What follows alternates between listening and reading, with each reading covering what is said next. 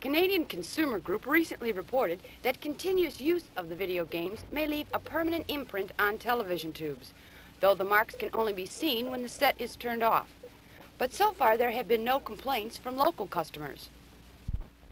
We've been handling these video games for over two and a half years, and we haven't had anybody report anything like it.